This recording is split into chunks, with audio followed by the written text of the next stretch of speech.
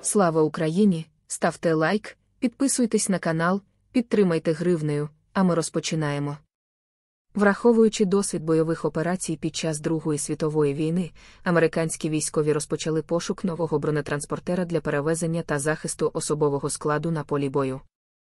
Новий бронетранспортер мав мати кращі характеристики, ніж тодішні зразки, бути більш маневреним, швидким у русі по різкій місцевості, мати покращений рівень бронезахисту, при цьому не бути занадто важким, щоб його можна було доставити будь-куди навіть літаком.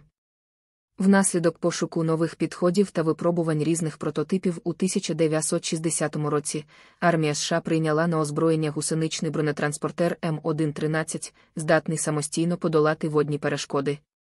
Основним призначенням бронетранспортера було перевезення військових у зоні активних бойових дій.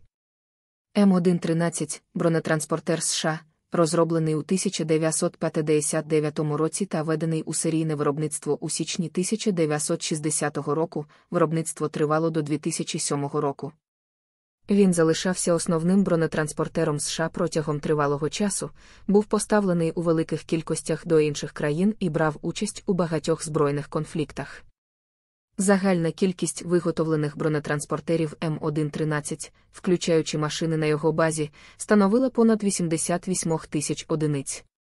Станом на 2022 рік вони використовуються у більш ніж 44 країнах світу, включаючи США, хоча поступово витісняються більш сучасними машинами.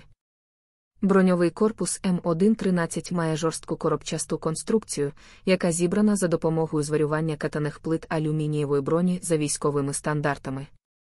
Його основним завданням було забезпечення захисту від 12,7 мм бронебійних куль з відстані 200 метрів.